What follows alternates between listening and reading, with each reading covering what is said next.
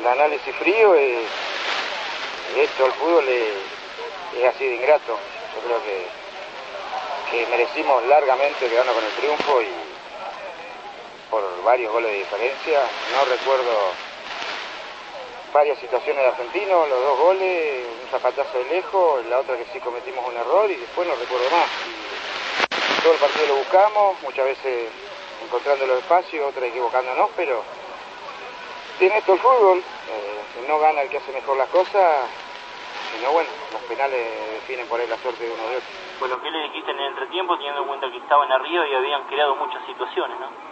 Que teníamos que tener más tranquilidad que en el primer tiempo, que teníamos que ser inteligentes y abrir los espacios, no tanto con los, como los, con los delanteros como lo abrimos en el primer tiempo, sino un poco más con los volantes, así podíamos tener gente adentro del área y, y bueno, lamentablemente al ratito se nos había puesto cuesta arriba el partido, por, lo habían dado vuelta, pero bueno, lo importante es que los cambios y en el momento que se pudieron serenar volvieron a demostrar la superioridad que tenía un equipo contra el otro. Bueno, seguramente más allá del resultado, con la actuación del equipo no te vas tan desconforme, ¿no?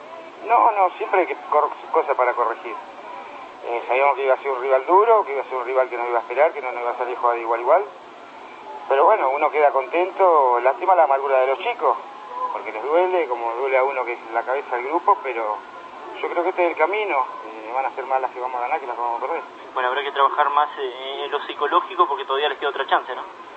Sí, ya mañana nos vamos a juntar a trabajar, charlaremos, tenemos un objetivo inmediato que dentro de dos semanas jugar la final del repechaje contra el equipo que venga y tenemos que llegar de la mejor manera porque hoy nos tocó perder y a lo mejor en la próxima nos toca ganar a nosotros.